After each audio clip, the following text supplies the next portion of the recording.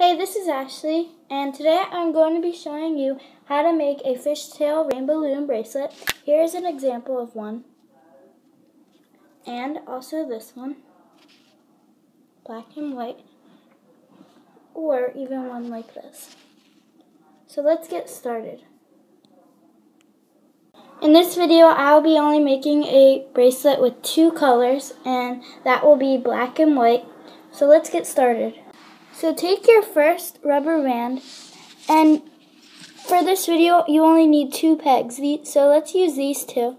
So put it on and you want to make like a 8 kind of. So stretch it out and make an 8 like that.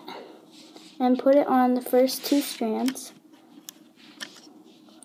So that, one there, and then make an 8 like that and push it down.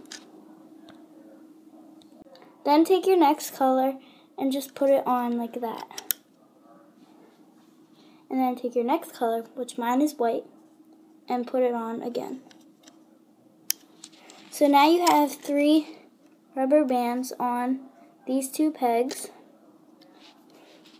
So then you want to take the bottom one, which is the white one, and you want to take the hook and get the bottom right here and hook it to the top like that. Then get the other side, the bottom white, and hook it like that. You just unhook it and bring it to the top, then push it down. Next, take your next color, which mine is black, and put it on. You always want to have three on. So, so you have the bottom black, the white, and the black. So that's three. So then you take the bottom black, unhook it and rehook it to the top. So again, unhook it and rehook it to the top like that. And then you just want to tug on it a little bit and push it down. Then you take white again, put it on, and push it down a little. And take the bottom white and put it to the top. Same with the other side. Now just pull it down. Ashley? Sorry. Now take black again. Put it on. See how I have three? One, two, three. Take the bottom black and put it to the top. Like that. And then just pull it down a little. And as you can see already, you're starting to get the form of your fishtail bracelet.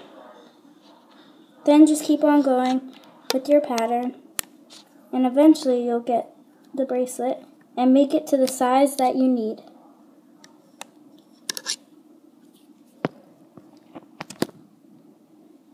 Once you've got your bracelet to the size that you need, you're going to want to take your bracelet off, but make sure you hold it with a good tight grip.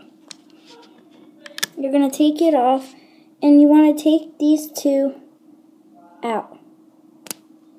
So now you have that. And you're going to take a C-clip and put the C-clip onto here and to the other side.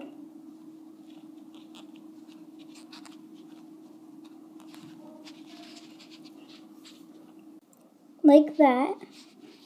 And you're going to want to attach it to the other side, which is right here. So take it and attach it to this side. Like this.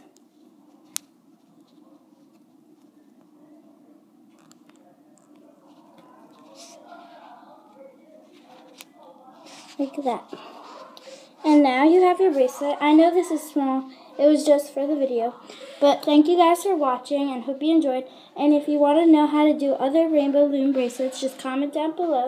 And if you have any questions, also comment down below. And give this video a like. Thank you guys for watching and see you guys later. Bye.